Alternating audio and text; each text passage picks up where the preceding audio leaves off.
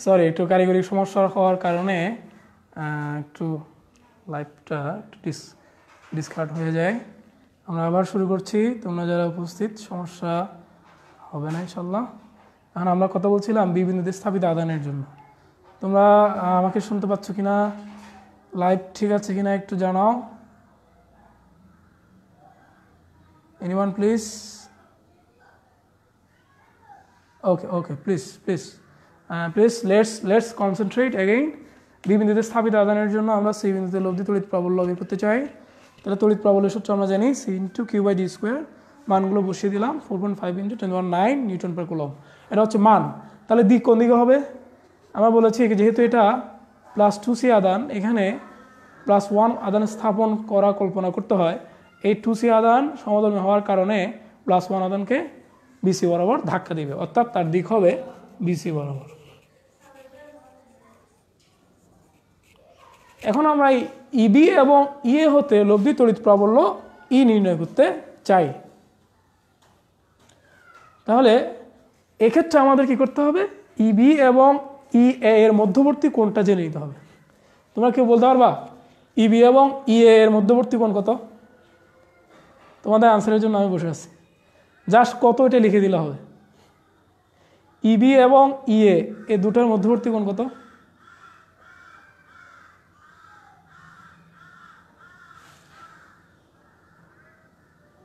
Very easy কারণ আমরা দেখতে পাচ্ছি এটা একটা সমবাহু ত্রিভুজ। আমরা আগেই বলেছি সমবাহু ত্রিভুজের প্রত্যেকটা কোণ হচ্ছে sixty degree so in that sense এটা সিক্সটি এই কোণটা সিক্সটি ডিগ্রি এটা যদি সিক্সটি হয়, তাহলে ওই কোণটা তো আলফা যেটাকে আমরা বলছি, সেটা বিপ্রদীপ কোণ। ইয়েস বিপ্রদীপ কোণ। হ্যাঁ ওকে ওকে শাহ মোহাম্মদ সাদ, তোমাকে থ্যাংক ইউ সিক্সটি হবে। কারণ এটা হচ্ছে সিক্সটি এবং এই কোণটা হচ্ছে বিপ্রদীপ কোণ। আমরা জানি বিপ্রদীপ কোণ সমান হয়। ছোটোবেলায় তোমরা উপপাদ্য চার নাম্বারে পড়েছিলে। একটি সরলরেখ আরেকটি সরলরেখে ছেদ করলে উৎপন্ন বিপ্রদীপ কোণগুলো পরস্পর সমান হয়। সো আলফা সমান কত? সিক্সটি আমরা একটু লিখব। ইএ ও ইবি এর মধ্যবর্তী কোণ আলফা সমান সিক্সটি ডিগ্রি তাহলে আলফা সমান যদি সিক্সটি ডিগ্রি হয়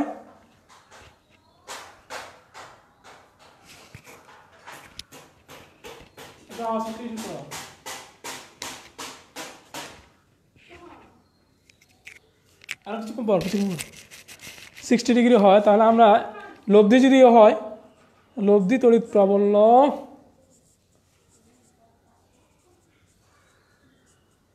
ই সমান, আমরা সূত্র লিখব, ছোটবেলার সে সামান্তরিক সূত্র E A square plus E B square plus two E A E B cos alpha মানগুলো বসিয়ে দিই।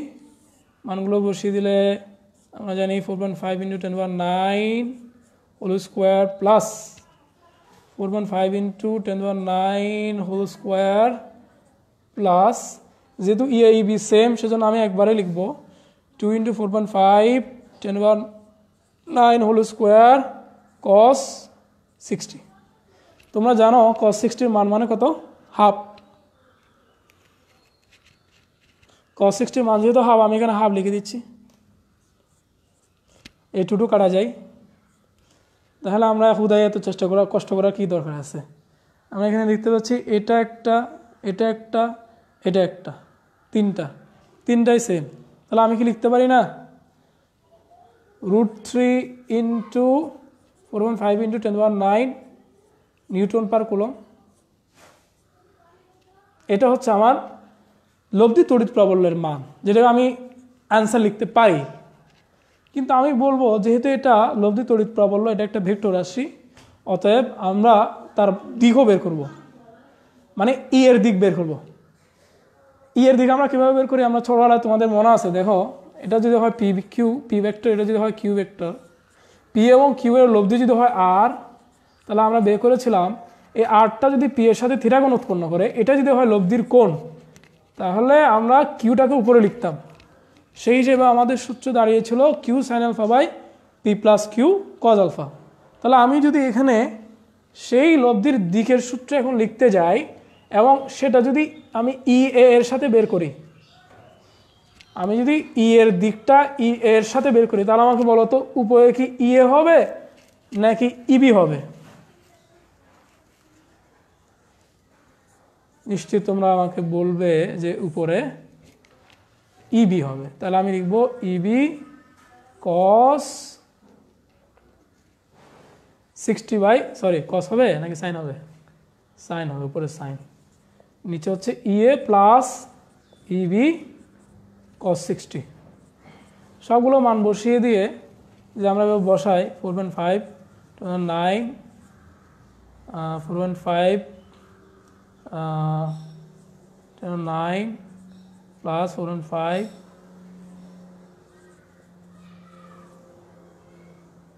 nine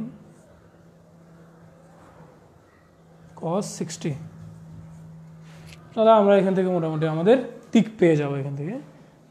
থিটা সমান টেন ইনভার্স করলেই আমরা দিকটা চলে আসবে এখানে। এটাই হবে আমাদের আনসার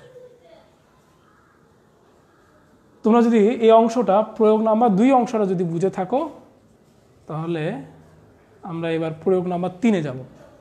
এই প্রয়োগ নাম্বার তিনটাই হচ্ছে সবচেয়ে ইম্পর্ট্যান্ট এই চ্যাপ্টারের জন্য।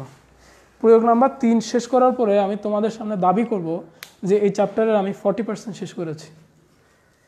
কারণ এটা হলো সবচেয়ে ইম্পর্ট্যান্ট টপিকস এই চ্যাপ্টারের জন্য। এছাড়া আরও দুটো, তিনটা আছে খুবই ইম্পর্ট্যান্ট সেটা হলো ধারকত্ব নির্ণয়, এরপরে লোক, ধারকত্বের ক্ষেত্রে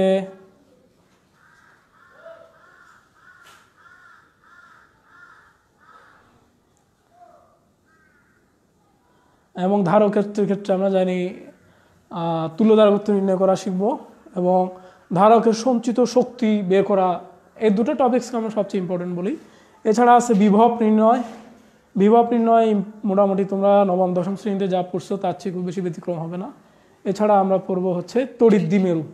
এই চারটা টপিক্সকে আমরা সামনে রাখি। আর একটা অংশ হচ্ছে, সেটা হলো গসের সূত্র। এটাও আমরা একটু দেখার চেষ্টা করব। মানে পাঁচটা টপিক্সে মোটামুটি বলা যায়, এই চ্যাপ্টার শেষ করতে পারব। তাহলে আমরা এখন আসব প্রয়োগ তিন। প্রয়োগ তিনে আমরা কি করব? এখানে আস্ত একটা আস্ত একটা আমরা কি নিয়ে আসব? বর্গক্ষেত্র নিয়ে আসব। যার, আমরা জানি বর্গক্ষেত্রের চার বাহু সমান। এটাকে আমি এখনও বর্গক্ষেত্র বলতে পারব না। কারণ আমরা জানি চারটা বাহু সমান হয় এমন আর একটা চতুর্ভুজ আছে, যেটাকে বলা হয় রম্বস। এটাকে বর্গক্ষেত্র করার জন্য তার দুই পাশে যে দুটো কোণ দেখতে পাচ্ছি, এগুলোকে সমকোণ হিসেবে চিহ্নিত করব। তাহলে আমরা তার নাম দিলাম এ বি সি ডি আমরা এখন এই বিন্দুতে টু সি স্থাপন করলাম বিতে টু সি সিতে আমরা মাইনাস টু সি স্থাপন করি। তাহলে এই যে ডি বিন্দু আমরা দেখতে পাচ্ছি, চতুর্থ কৌণিক বিন্দু, এই চতুর্থ কৌণিক বিন্দুতে আমরা লব্ধি, তড়িৎ, প্রবল নির্ণয় করব। তাহলে আমরা একটু প্রশ্নটা লিখি। সি বিন্দুতে সরি ডি বিন্দুতে লব্ধি, তড়িৎ প্রাবল্য নির্ণয় করো। প্রশ্নটা একটু লিখে নাও প্লিজ এই অংশটা ভালো করে বুঝলে অনেক কাজ দেবে। এটা না বুঝে যদি দশ বারো, বিশ বারো, কেউ যদি খালি এমনি দেখে দেখে লেখে, কোনো লাভ নাই। মানে রেজাল্ট একদম জিরো সেজন্য আমি বুঝাটার উপর বেশি ফোকাসিং করার জন্য অনুরোধ করছি তোমাদেরকে। না প্লিজ প্রথমে আমরা যেটা করি সেটা হচ্ছে আমরা সমাধানটা কীভাবে করি তার উপরে পাসিস করি। সমাধানটা কীভাবে করব সেই রাস্তাটা জেনে নেওয়ার পরে গ্র্যাজুয়ালি আমরা ওয়ান বাই ওয়ান সলিউশনে যাই। তাহলে সেই হিসেবে যদি আমরা একটু তাকাই, সবাই একটু কনসেন্ট্রেশন দাও প্লিজ দেখো, এখানে বি বিন্দুতে একটা প্লাস টু সি আদান দেখতে পাচ্ছি আমরা। আমরা এ বিন্দুতে একটা প্লাস টু সি আদান দেখতে পাচ্ছি। সিতে মাইনাস টু সি আদান দেখতে পাচ্ছি। ভয় পাওয়ার কোনো কারণ নাই। তাহলে কীভাবে সলভ করব আমরা? প্রথমেই বি বিন্দুতে স্থাপিত আদানের জন্য তড়িৎ প্রাবল্য বের করব। একটা একটা তড়িৎ প্রাবল্য পাবো। এই বিন্দুতে স্থাপিত আদানের জন্য একটা তড়িৎ প্রাবল্য পাবো। সি বিন্দুতে স্থাপিত আদানের জন্য একটা তড়িৎ প্রাবল্য পাবো। আমরা এই তিনটা তড়িৎ প্রাবল্য মিলিয়ে একটা বের করার চেষ্টা করব। কিন্তু প্রবলেমটা হচ্ছে, আবার একটু আগে একটু আমরা এঁকে নিই। এটা একটা তড়িৎ প্রাবল্য, আমরা জানি ডিরেকশনটা এদিকে হবে, কারণ প্লাস টু সি এখানে তড়িৎ প্রবল বের করার অর্থ হচ্ছে একক ধনাত্মক আদানে স্থাপন করা। অতএব এই প্লাস টু সি সমধর্মী হওয়ার কারণে প্লাস ওয়ানকে কী করবে? ধাক্কা দিবে নিচের দিকে। সো ডিরেকশন হবে বিডি বরাবর। এটাকে আমি নাম দিলাম ই ওয়ান এরপরে এই বিন্দুতে যে আদানটা আছে, আমরা দেখতে পাচ্ছি সেই আদান প্লাস টু সি হওয়ার কারণে ডি বিন্দুতে যে একক ধনাত্মক আদান স্থাপন করা হবে, তাকে ঠিক এ ডি বরাবর ধাক্কা দিবে। অর্থাৎ ই টু এর দিক হবে ই এডি বরাবর। ওকে এরপর আসি সি বিন্দুতে যে আদানটা আছে। তোমরা দেখতে পাচ্ছ সি বিন্দুতে একটা মাইনাস টু সি আদান দেওয়া আছে। আর ডি বিন্দুতে তড়িৎ প্রবল্য বের করার অর্থই হচ্ছে একক ধনাত্মক আদান স্থাপন করা। যেহেতু এরা সমধর্মী, এরা এক অপরকে ভালোবাসে। অতএব এই সি বিন্দুতে মাইনাস টু সি আদান প্লাস ওয়ান আদানকে খুব আন্তরিকতা নিয়ে কী করবে? জড়াই দিতে চাইবে। অর্থাৎ এক্ষেত্রে তার ডিরেকশনটা হবে হলো ডিসি বরাবর। এটাকে আমরা ইথ্রি নাম দিলাম। তাহলে আমরা অলরেডি তিনটা তড়িৎ প্রাবল্য পেয়ে গেলাম। E one E two E three আমরা যেটা করব এরপর যে আমি তো বলেই দিছি, এখন কমপ্লেক্সিটিটা নাও। এই এখন এতক্ষণ যে কাজগুলো করছি এগুলো সহজ। এখন কমপ্লেক্সিটি কীভাবে সলভ করব? এই তিনটা মিলায় একটা সলভ করার জন্য আমাদের ভেরি ইজি একটা পলিসি আছে। তোমরা যারা সেকেন্ড ইয়ারে আসছো তারা জানো। সেটা হচ্ছে কি, আমরা ই থ্রি এবং ই ওয়ানকে মিলিয়ে সামান্তরিক সূত্রের সাহায্যে ই থ্রি এবং ই ওয়ানের লব্ধি বের করব। বললাম নাম দিলাম ই ফোর এরপরে এই ই টু এবং ই ফোরকে মিলিয়ে সামান্তরিক সূত্রের সাহায্যে চূড়ান্ত লব্ধি হতে পারে ই এটা বের করব। এই হলো আমাদের পলিসি তাহলে এখানে আসলে কঠিন কিছু নয়। আমরা সমবাহ ত্রিভুজের ক্ষেত্রে যেটা একবার করছি, সে জিনিসটা আমাদের এখানে দুই একবার বা একাধিকবার করতে হচ্ছে। এ হলো ব্যাপার। তাহলে এই সমাধানটার পলিসি যদি আমরা বুঝে নিই, তোমরা একটু চিত্রটা এখানে নাও ভালো করে। চিত্রটা আমাদের মুছে ফেলতে হবে। কারণ আমাদের জায়গা খুবই ছোট।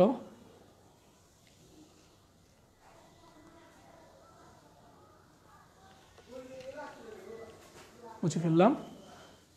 আমি তারপরে একটু কর্নারে রেখে রাখব চিত্রটা। এই ছিল আমাদের পিকচারটা এটা হলো এবিসি সি কোথায় ছিল? এখানে সি এখানে ডি ছিল না? হ্যাঁ। তাহলে এখানে ছিল two C two C minus two C এটা ছিল দুই মিটার দুই মিটার দুই মিটার দুই মিটার। আমরা এই ডি বিন্দুতে লব্ধি তড়িৎ বের করতে চাই। তাহলে প্রথমে এটাকে ধরলাম ই ওয়ান এটাকে ধরেছিলাম ই টু এটা হচ্ছে ই থ্রি তাহলে আমি লিখি প্রথমে। আমি সরাসরি এখন আর ব্যাখ্যা না দিয়ে ই ওয়ান ই টু এভাবে লিখব। তোমরা দেখতেই পাচ্ছ ই ওয়ান কার জন্য।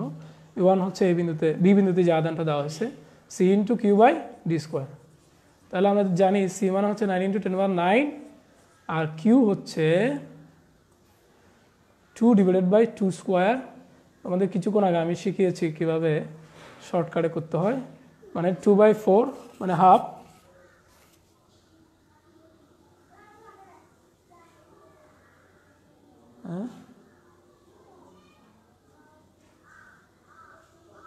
একবার চিত্রটা।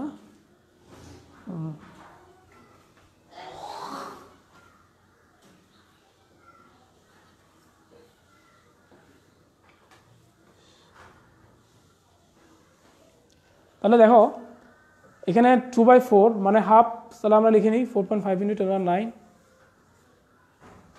into newton per coulomb আমি চিত্রটা আবার বলছি, তোমরা এখন আমরা করার সাথে সাথে বলব। এই যে বি বিন্দুতে যে আদানটা দেওয়া আছে, তার জন্য আমরা ডি বিন্দুতে তড়িৎ প্রাবল্য বের করব।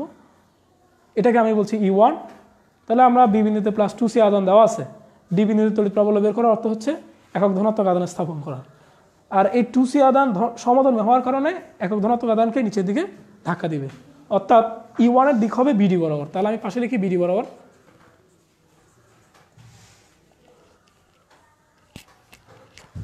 এখন আসি ই টু ই টু মানে হচ্ছে কি এই বিন্দুতে স্থাপিত আদানের জন্য। সূত্র কি? C into Q by D square এখানে ডি মানে কাকে বোঝাচ্ছে? আমি একটু স্পেসিফিক লিখব, সেটা হচ্ছে এডি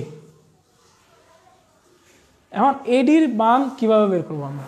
আমরা জানি তোমরা, এটা যেহেতু বড় ক্ষেত্র, এটা হচ্ছে কি সমকোণ, এটা একটা সমকোণী ত্রিভুজ।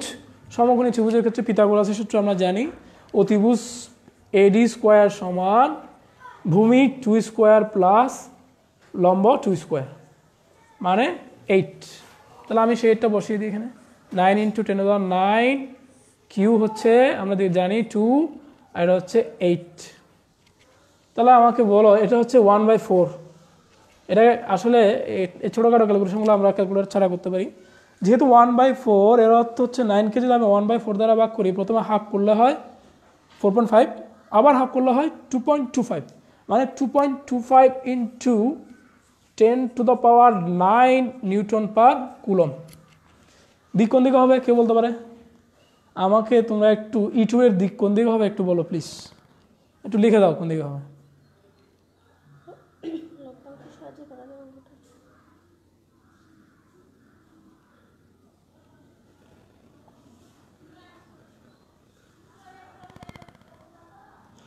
লম্বাংশের সাহায্যে এটা একটা পলিসি কিন্তু এই লম্বাংশের সাহায্যে করাটা সবাই বুঝে না। এটা অনেকের কাছে কমপ্লেক্স মনে হয়।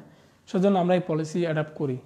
তোমরা যারা চাও লম্বাংশের মাধ্যমে করতে করতে পারবা। এবং লম্বাংশের সাহায্যে করতে গেলে হয় কি, এক লাইনে প্রায় দেড়, দুই লাইনের মতো লেখা লিখতে হয়। তাহলে আমরা পেলাম, কেউ কি লিখছে যে ইটু এর দিক কোন দিকে? এডি এর বরাবর। গুড থ্যাংক ইউ তাহলে আমি লিখে দিলাম এডি বরাবর। এরপর আসে আমরা ই থ্রি ই থ্রি তোমরা জানো সি বিন্দুতে যে আদানটা স্থাপন করা হয়েছে তার জন্য। তাহলে আমি যদি বসিয়ে দিই nine into ten to power nine আমি একবারে বসিয়ে দিচ্ছি মানগুলো। কিউ বাই ডি স্কোয়ার মানে টু বাই টু স্কোয়ার মানে হচ্ছে four point five into ten to power nine newton per coulomb. যার দিক হবে, দেখে একটু মনে আছে কিনা দেখি। ই থ্রি এর দিক কোন দিকে, একটু দিকে পাঠাও please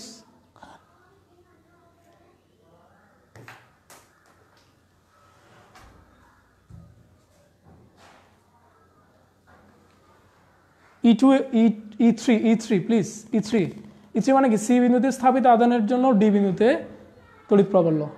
তাহলে আমরা দেখতে পাচ্ছি এখানে এখানে সি বিন্দুতে মাইনাস টু সি ডিতে একক ধনাত্মক আদান কল্পনা করলে এই মাইনাস টু সি আদান বিপরীতধর্মী হওয়ার কারণে একক ধনাত্মক আদানকে নিজের দিকে আকর্ষণ করবে। গুড এক্স্যাক্টলি ডিসি বরাবর। থ্যাংক ইউ তাহলে আমরা পাশে লিখি ডিসি বরাবর।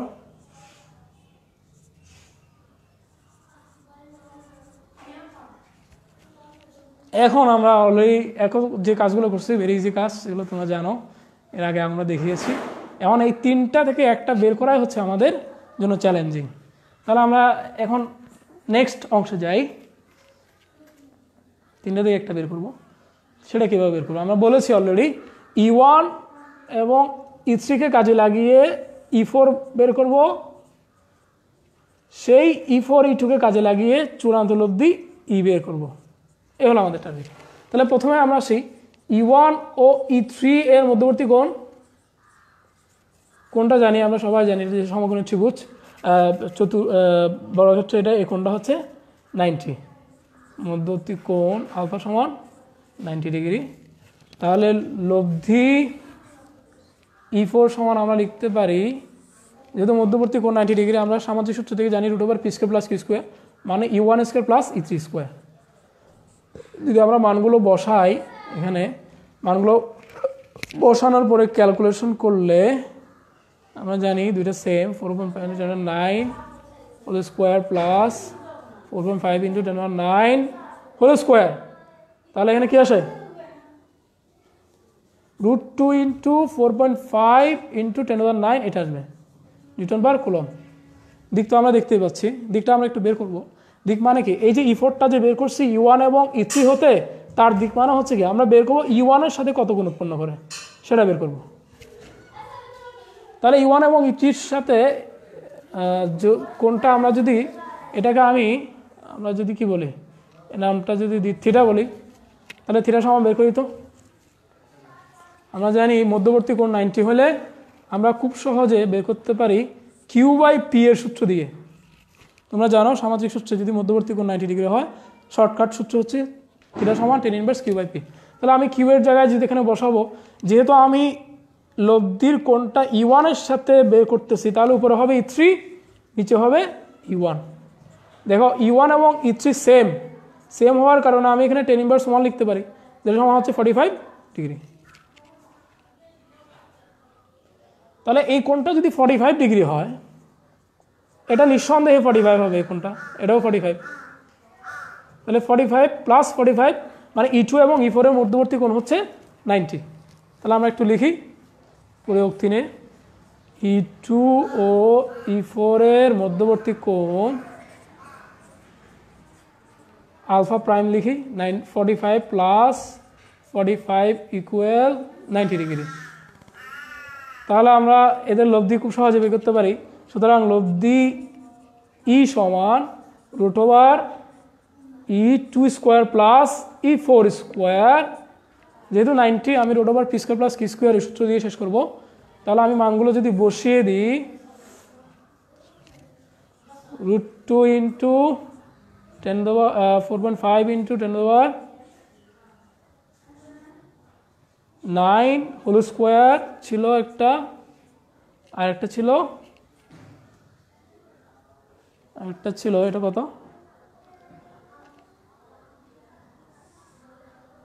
একটা মান ছিল two twenty four point nine ছিল একটা।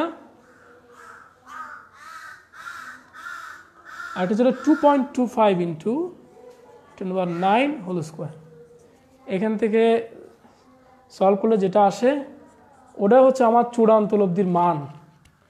চূড়ান্ত লব্ধির মান, এখানে আমি চূড়ান্ত লব্ধি লিখতে পারি। চূড়ান্ত লব্ধির মান। তাহলে আমি অলরেডি চূড়ান্ত লব্ধির মান পেয়ে গেলাম। এখন অর্থাৎ ই পেয়ে গেলাম, এই ই এর মান পেয়ে গেলাম।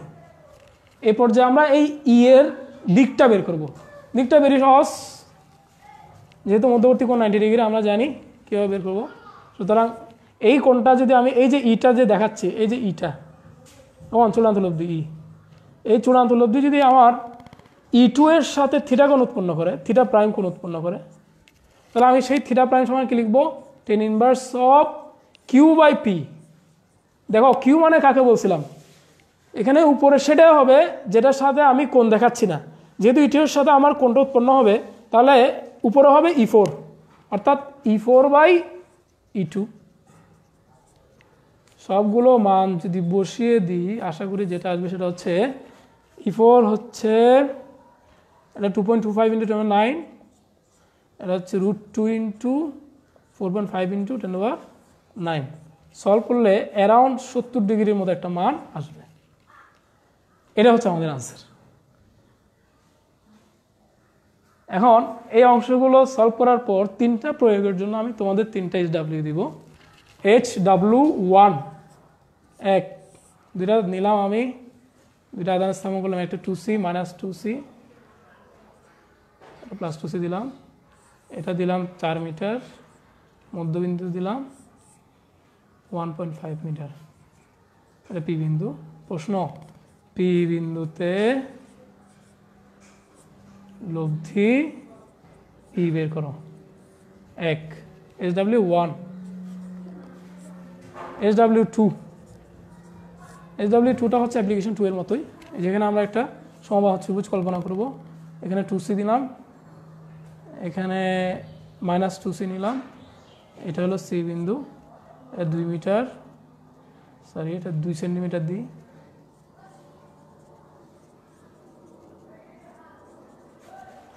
সি বিন্দুতে লব্ধি ই সমান কত? এই হলো দুটো প্রবলেম এখন প্রয়োগ ত্রিনের মতো একটা প্রবলেম আমরা দেখি এখন। তোমরা প্রবলেমগুলো অবশ্যই লিখে সলভ করবা। আগামী ক্লাস আমি ধারকের উপর নিব, ধারক ইনশাল্লাহ তখন আমি তোমাদের কাছ থেকে এই প্রবলেমগুলোর সলিউশনগুলো জানার মানে উত্তরগুলো জানার চেষ্টা করব।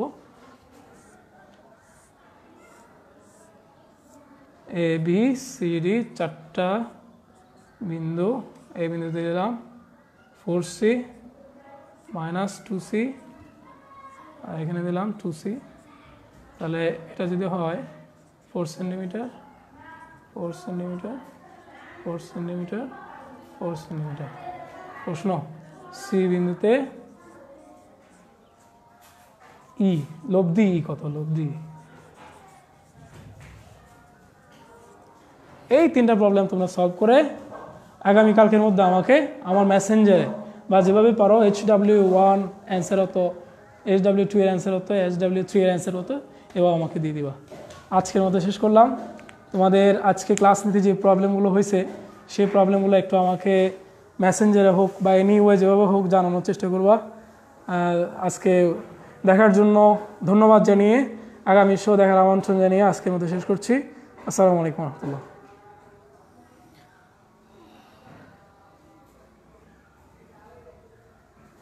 Peace.